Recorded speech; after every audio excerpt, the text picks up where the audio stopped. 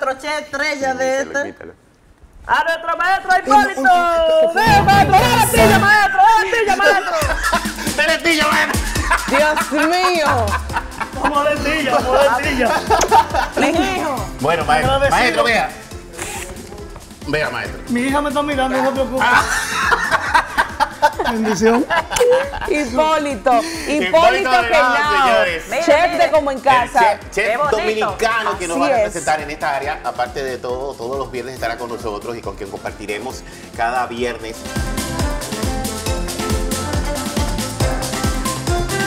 Con el código de la receta 005, hoy Hipólito Genao va a, preparar una ensalada de corbatines a la capresa.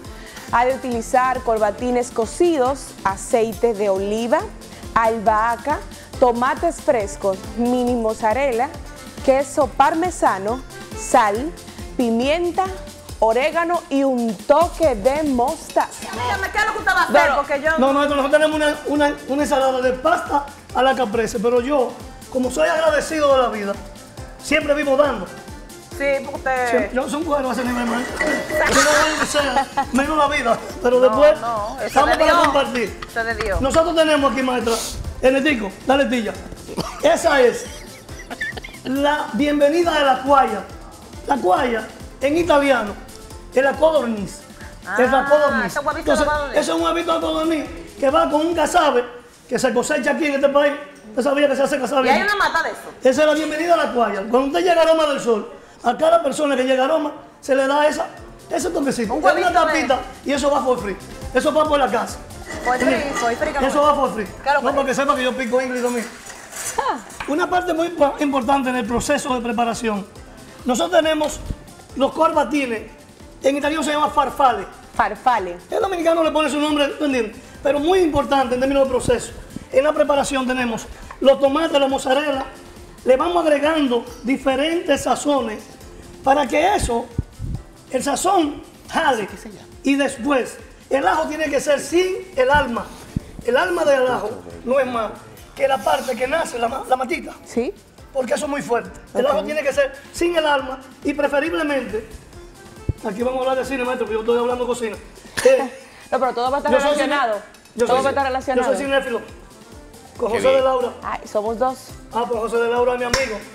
Eh, desde Lucamayo teníamos más cine. Maestro, le damos el tilla aquí eh, en el tico, Ok. sazonando Dar el primero. tilla es moverlo. Eh, sazonar, que jale los sazones. Ah, ok. con la mostaza, la sal bajita, con la mostaza, con la mostaza tiene sal, le damos un toque, un toquecito, como dice la receta. Be careful, no too much.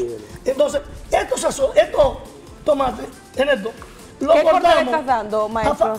Eso es Juliet, porque es a favor de cómo vaya la pasta.